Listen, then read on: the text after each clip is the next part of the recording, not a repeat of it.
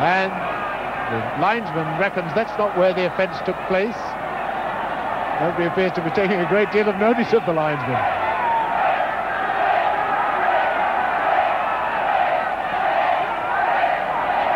Ah, now they are. Well, I wouldn't like to be in that swaying mob, would you? Bremner to Gray. Oh, Greenhoff, if he'd hit that, he must have broken the net. Giles to Cooper.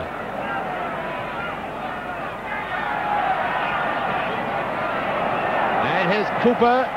Oh, it's a goal! Oh, what a great save by Shilton. That ball hit a defender, and for a million, Shilton was hopelessly beaten. How he changed direction is a mystery.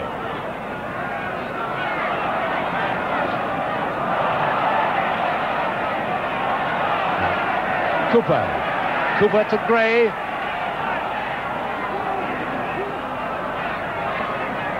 Now to Bremner. He's got Giles close to him. He's got always a bad ball to Giles.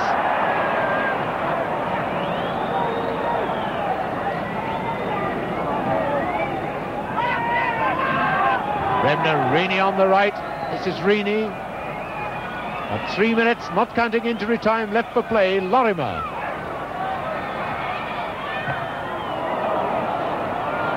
Now back to Bremner.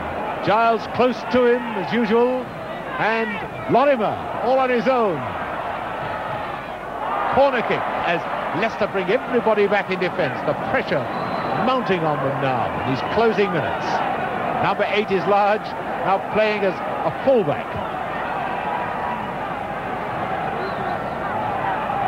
Gray with the corner for Leeds. Back to Lorimer.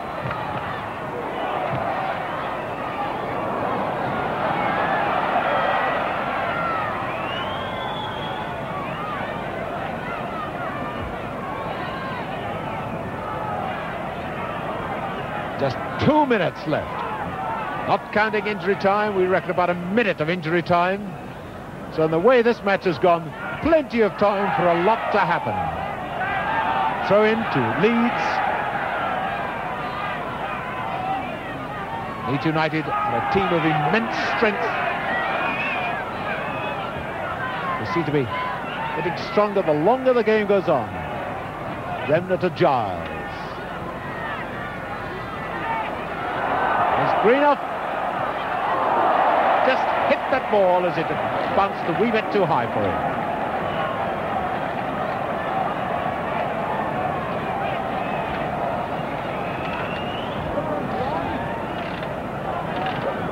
And nobody can go away from this match and say they didn't have their money's worth.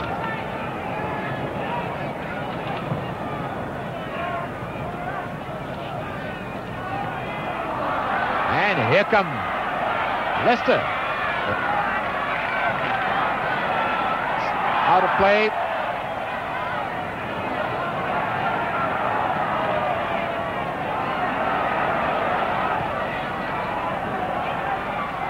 And now Roberts.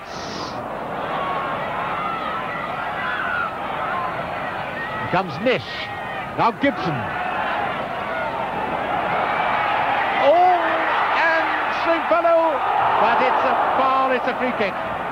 The goalkeeper was fouled. Terrible thing about games like this, nobody can hear the referee's whistle. Nobody even bothers to look at the referee to see if he stopped the game. 30 seconds to go.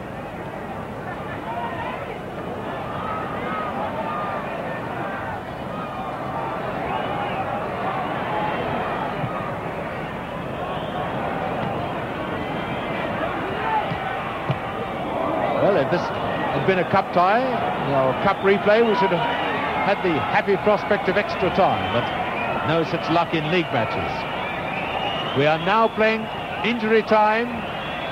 We reckon about a minute of it, but the whistle goes for the end of the match. A magnificent match, two goals each. A game well worth anybody's money.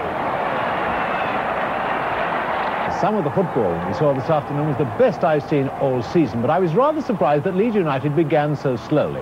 And after the game, I was able to have a chat with their manager, Don Revie, about it. Well, Don, you started rather slowly, didn't you think, this afternoon? Yes, we're going to wait to a very quiet start, a goal down in the first minute, and uh, but after that, uh, I thought 20 minutes before half-time, the second half, it's some of the best football we've played all season. It's, it's rather unusual, though, for Leeds United to get off such a slow start, isn't it? Yeah, normally we don't give goals away like that uh, so early on in the game, but um, I felt that we did enough to win today. I thought that the second half we absolutely played some great stuff and didn't take the chances that we uh, created. It has been suggested that you're a bit short of match practice. You've only had two games in the last fortnight, haven't you? yes, well, that's our 42nd game of the season, and we've midweek games now every week uh, till about the end of the season. Now, aren't the players getting a little bit tired of football, or are they still loving it? No, I think there's a state of mind. I think when things are going well for a team, I think the players enjoy it more, and uh, I think two games a week is better than training for them. I think it's all in the mind. If players feel they're tired, then uh, they think they're tired when they go. You've got to tell them that they're not. Well, they certainly don't play as if they're tired, Don. No, not so far. Well, a point away from home is always a good result, but it wasn't good enough to bring Leeds nearer the championship because Manchester United, the league leaders, won, beating Spurs two goals to one. Now, you may remember when these two teams met in a cup tie last week, Spurs equalised two minutes from the end. Well, today at White Hart Lane, United won the game two minutes from the end when Bobby Charlton dribbled 50 yards before shooting into the net. Earlier, he'd had a penalty kick saved by Jennings. Chivers after two minutes, Best after 18 minutes scored the other goals. The Merseyside derby was a flop. 65,482 people saw Everton win 1-0. Kendall, after 32 minutes, got the only goal of the game and so broke Liverpool's run of seven away draws on the trot. Incidentally, Liverpool haven't won a league game at Goodison Park since 1951. Manchester City were lucky to get a home point against Arsenal. Arsenal took the lead after 57 minutes. Then after 69 minutes, Lee mishit a shot, but it still flew into the net for the equaliser. And a minute from the end, Arsenal's new forward, Gould, had his name taken. That probably disappointed him, but no doubt after the game he was glad to hear that his old club, Coventry City, had won their first away game in the First Division, winning at West Bromwich. The league table tonight looks the same as it did this morning. Manchester United top, followed by Leeds, Liverpool, and then Manchester City. And with that, we end Match of the Day for this week. But we have a truly great game for you next week, so I hope you'll join us for Match of the Day at 10 past 10 next Saturday. Till then, good night.